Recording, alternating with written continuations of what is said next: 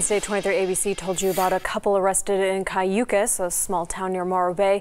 And tonight, the neighbor of the two suspects is speaking out about what she noticed the night that the couple packed up to leave. 23 ABC's Alexa Ray spoke with the neighbor earlier today. Alexa? Darwin Alaskari and Sherry Boggess were arrested yesterday while police say they were in the process of transporting a dead body along with illegal narcotics and their 13-year-old daughter. When arrested, they told police that they were transients. However, a neighbor of theirs noticed them on TV last night. We were just concerned because, you know, something happened, it happened here you know, and nobody wants to talk about it. According to Darlene Glenn, a neighbor to Darwin Alaskari and Sherry Boggess, they lived in a trailer park located on South Union Avenue. Also living in that trailer was their 13-year-old daughter, another man, and an older man who Glenn was told was Boggess' father. A week from this past Saturday, Glenn noticed that the couple was packing up to move with the 13-year-old girl.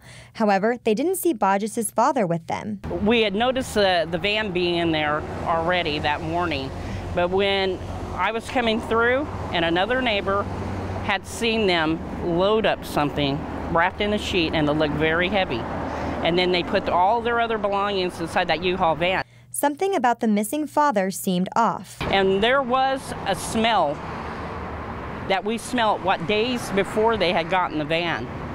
And it smelled like something dead. The U-Haul was being pulled by a vehicle, something that the couple didn't own. They say the trailer they were living in still has a resident. The man that moved in with them is still living there. And we noticed that things were cleaned up. No license plates on the vehicles back there. So there's definitely something going on. After seeing the events last night on the news and realizing what happened, Glenn feels unsafe living where she has for so long. We're just afraid for ourselves. We don't know what's happening.